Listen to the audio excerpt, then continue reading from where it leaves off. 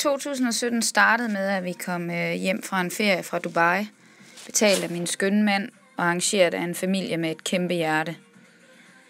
En fantastisk øh, ferie og et minde for evigt. Hvad ønsker du dig egentlig til jul, Georgia? Når du føler, at du har alt. En mand og et job, du elsker højere end ord kan fortælle. Gode mennesker omkring dig, og du kan mærke og se, at du udvikler dig mod målet. At blive bedre til at ride og forstå hestene. At passe dem, tilride og uddanne og sælge kvalitetsteste. Det vil jeg vende tilbage til senere.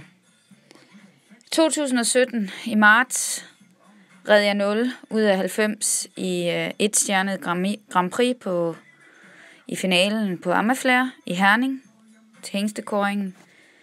Også et uforglemmeligt minde, og øh, blev nummer 9. Nye hestekunder kom til med nye gode unge heste at ride. Amaflair blev i april 2017 solgt til Jos Lansing i Belgien via Ulrik Klemsen. Mega tak, Ulrik. Øhm, det har været hårdt at sælge sin bedste hest i 2017. Det er hårdt arbejde. Ingen store stævner øh, til mig. Hele 2017. Ja. I stedet hårdt arbejde. Hårdt arbejde. Hårdt arbejde. Både fra at ride hestene, og sådan er der tilride dem, lære dem at få vasket ben til at ordne stald, feje og rydde op og gøre udstyr ren og er på. springe igen og gøre hestene stævnevand og læse dem. De skal jo have fri, så de kan holde jul og have det godt. Det er en uh, proces, der kræver utrolig meget tålmodighed og flid. Klar. Selvfølgelig også en portion af dygtighed. Uh, det øver jeg mig stadig på. 2017 har også udviklet mine forhandlingsevner fra at øh, være alt for flink til at være lidt flink. Der er simpelthen ikke råd til at uddanne alle sidste. Også selvom de vil forære mig dem. Der skal øh, rigtig mange t- penge til i driften for at uddanne en hest op til øh, høj niveau. Det koster ca. 108.000 om året. Og øh, at få foræret en ung hest, og så tage overtage hele driften, det er der bare ikke økonomi i, og det har jeg også lært at indse.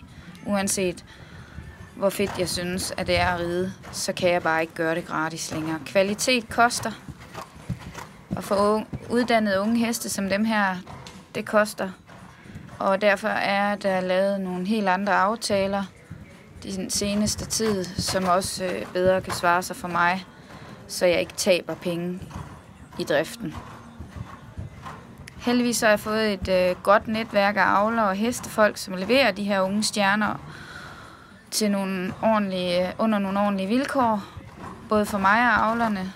Øhm, jeg har et godt netværk af kunder efterhånden, som jeg har bygget op på de her 11 år, vi har haft Georgia Horses.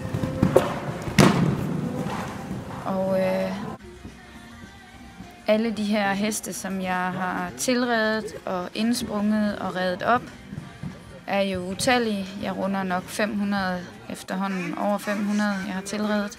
Og der er strøm nok på Det er et stort arbejde at ride. De små stævner hver eneste weekend. Babyklasse her ser vi Happy, som går sin aller, aller første klasse. Det er en fireårs. Den er meget lille, den bane, men øh, Igen, kunsten er jo at gøre dem tryg og tillidsfulde, og det er oplevelsen, som hestene forbinder, altså stævnet oplevelsen, de skal forbinde med noget, de kan finde ud af. Tryghed og tillid. Og så kommer alt det med styrke, og også at presse dem lidt ud i større opgaver. Jeg har også fået titlen mediedronning i år 2017, fordi jeg bruger Facebook og de sociale medier ekstremt meget, og øh, det vil jeg blive ved med. Jeg har lavet en blog, som også er meget læst, og en YouTube-kanal. Vi har utrolig mange aktiviteter her ved os, Sydvestfyns Rideklub. Og øh, mine ryttere har også udmærket sig øh, ude til alle mulige stævner, lige fra øh, klubstævner til distriktstævner til mesterskaber, og jeg føler stolt med ved sidelinjen. Øhm, vores sponsorer er Kusana, Kovaline og Nørlund Rideudstyr, Markusen Sport, de bliver ved med at levere fede præmier til vores aktiviteter. De bliver ved med at bakke op om mig. Øhm, Bravida, Højgaard Hestehospital. Øhm, jeg takker alle, som øh, støtter mig økonomisk og støtter mit sted.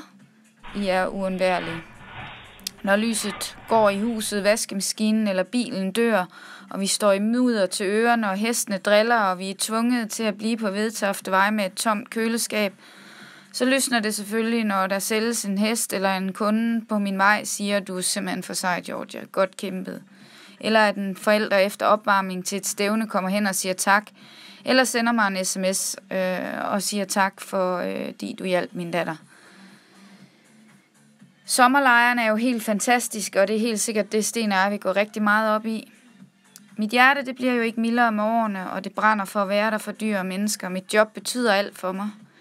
Jeg har i år solgt mange sunde heste til glade ejere, og jeg hjælper stadig, hvor jeg kan med de få midler, jeg har til rådighed.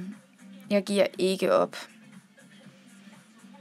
Jeg hjælper, hvor jeg kan. Og så hvad er, hvad er det, jeg ønsker mig i julegave i år? Jeg ønsker mig ro. Ro til at arbejde og fordybe mig i nuet. Altså være til stede om, om det er med manden, hesten, familie, venner eller kunderne, så er ro i sindet vigtig. Jeg ønsker mig jeg ønsker mig at nå mit mål og at udvikle vores sted og få betalt alle regninger til tiden og få opbygget et varelager af heste, som jeg vil uddanne på de næste 10 år.